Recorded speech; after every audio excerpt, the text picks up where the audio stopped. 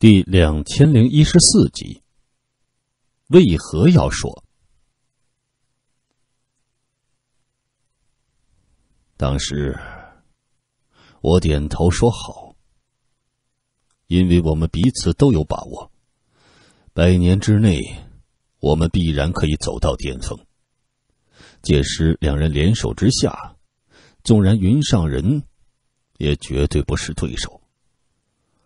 与子露露更不在眼中，横扫天阙，成为至高主宰，断然不在话下。但世事如棋，天意难测呀。还没有等到那个时候，就突然间天阙大乱，天下江湖第一高手之位开始竞逐。薛家不惜倾家荡产，全力推动此事。薛家满门上下，连同所有势力，合共一百七十万人，全力促成此事。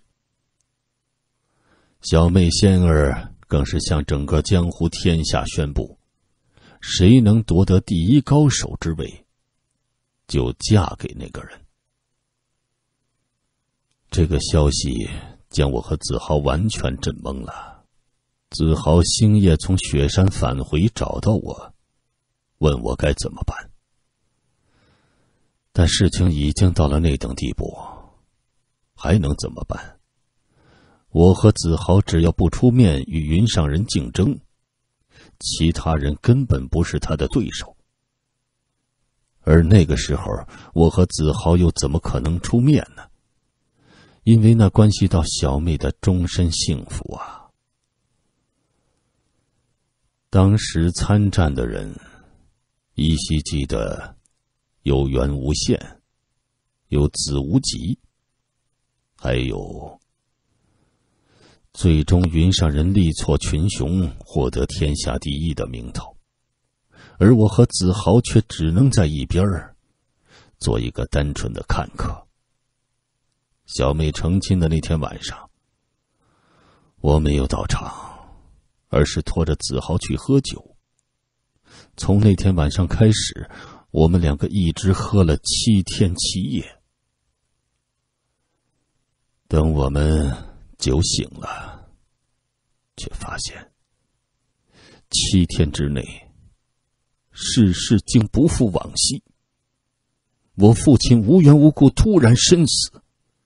云上人因此大发雷霆，雪家高手尽出之余，更是出动本身实力部署七万余，在整个天阙开始索仇，完全就是一副疯狂之相。当时我闻讯之下悲愤欲绝，就要立即前去报仇，但子豪拼命的拦住我，说道：“此事。”其中只怕另有蹊跷。我现在与云上人不宜见面，更加不能让云上人知道我有关雪家关联的那层身份。我一想也对，于是便开始暗中探查。我们两个都意识到，为何小妹与云上人这边才刚刚成亲，那边父亲就被杀了。父亲身为天下第一财阀之主，身边护卫无数。若是当真那么容易被刺杀，岂不早就死了千百万次啊？何至于等到今天？父亲不能冤死，小妹不能无依无靠，而且就当时的状况看起来，云上人的态度几近疯狂。头缠白布，身穿校服，就那么一路杀了过去，大开杀戒。整个中极天几乎被他扫荡了一遍，当真是顺者生，逆者死。那些平日里与雪家有仇的、有嫌隙的，甚至只要是心怀嫉妒的，通通被云上人连根拔起。如是十年光景，整个终极天死在云上人与他的手下手中的，超过数千万之数。当真是尸堆成山，血流成河呀！最终，云上人宣告天下，确认了凶手身份，乃是东极天第一财阀宁家所为。云上人出动大军前往讨伐，而那时候的各方面证据，也确实都已经表明，的确就是宁家所做。当年宁家三少曾经追求我妹妹，却不为小妹所喜，还被我爹爹斥责过。因爱生恨，由恨转仇，终于起了火心。不但曾经组织过对雪家的狙击，对我父亲施以刺杀，还曾经策划过对我妹妹的绑架。新仇旧恨同时爆发，我和子豪同时发动自己所属的势力，暗中出手协助。云上人正面主攻，我们两人暗中帮手。同时还有我一直隐藏在江湖的七弟，率部下出手。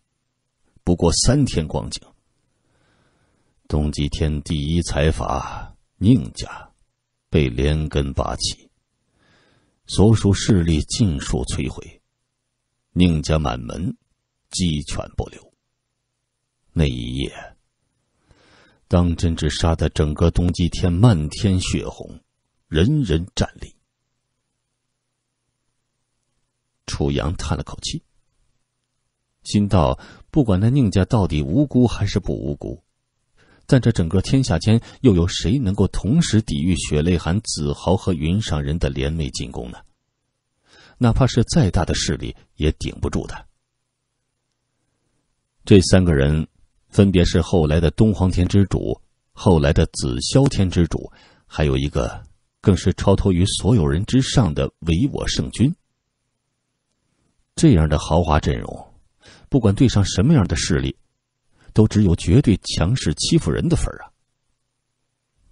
宁家被彻底摧毁，我们皆以为大仇终于得报，亡者可得欣慰。唉，当时云上人以雪家继承人夫婿的身份，顺理成章的接管了雪家，而我只是在与七弟商议之后。得出一致的结论：我们两人各自都有自己的江湖，不可能再回家族，索性就将家族送给小妹，做她的嫁妆。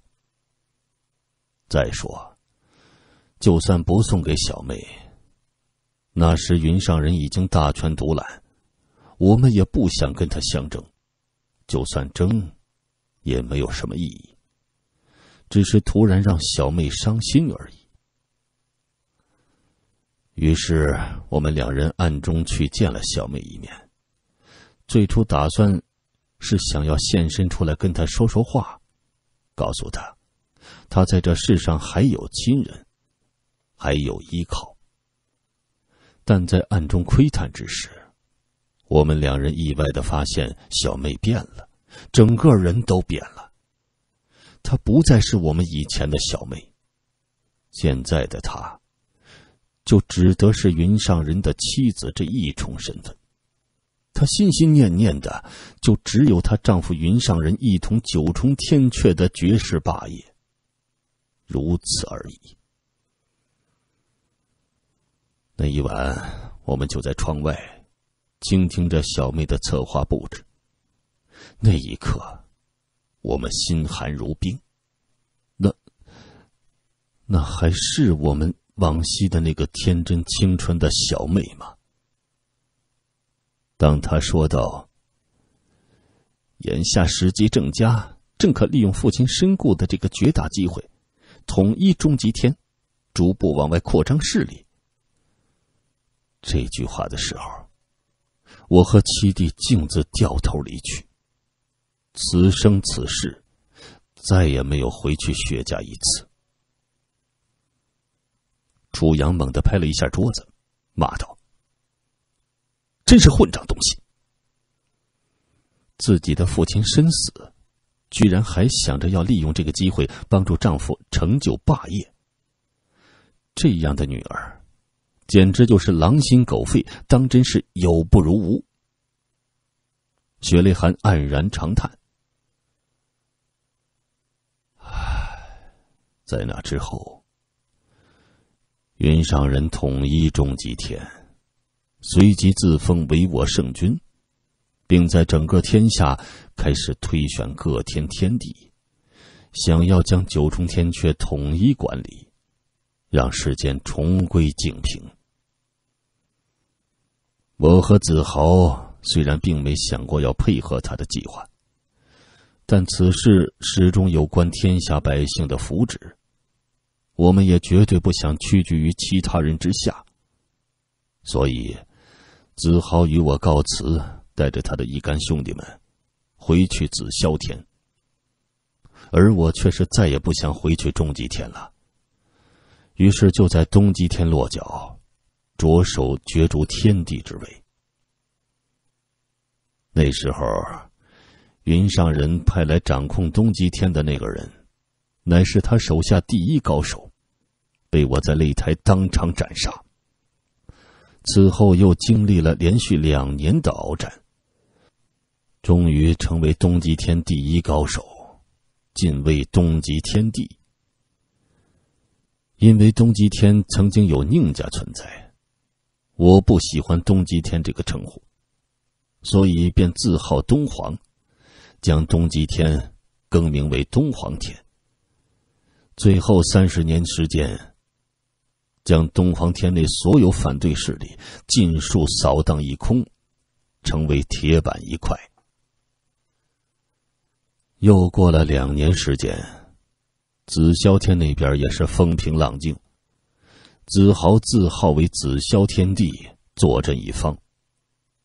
就在那一年，子豪前来东皇天找我喝酒解闷儿。